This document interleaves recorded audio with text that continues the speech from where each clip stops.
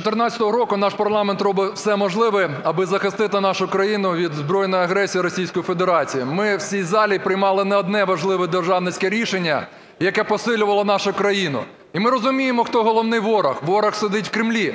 Але також ми розуміємо, що він використовує всі можливі і неможливі засоби для того, щоб зруйнувати нашу державу.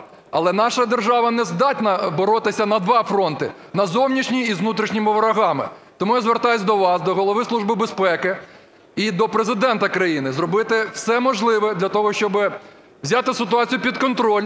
І всі ті, хто роблять заколоти з очевидними доказами фінансування банкірами злочинної родини Януковича, щоб їх в відкритий спосіб притягнути до відповідальності, щоб судовий процес був зрозумілий всьому суспільству і всьому світові.